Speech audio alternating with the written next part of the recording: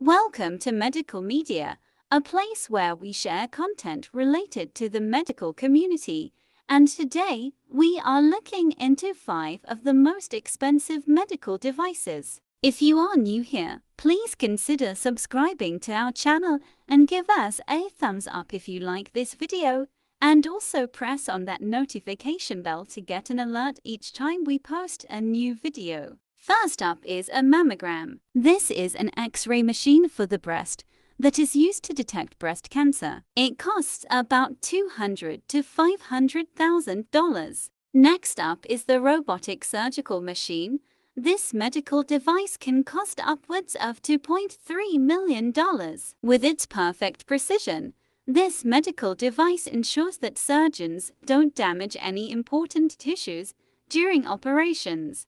Up next is the MRI machine. This uses magnetism to create clear body images. It also cost an upward of $2.3 million.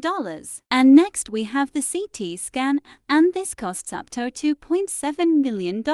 It uses radiation to provide more detailed information than X-rays. And last but not least, we have the Medical Linear Accelerator. This costs $3 million.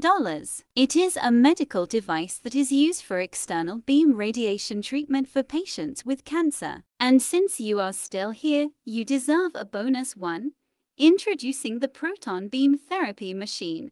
This costs 150 million to put together.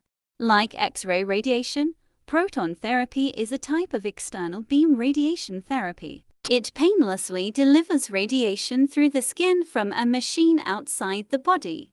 So, which of these machines have you come across and what was your experience? Let us know in the comments. We would love to hear from you. Stay safe and healthy out there.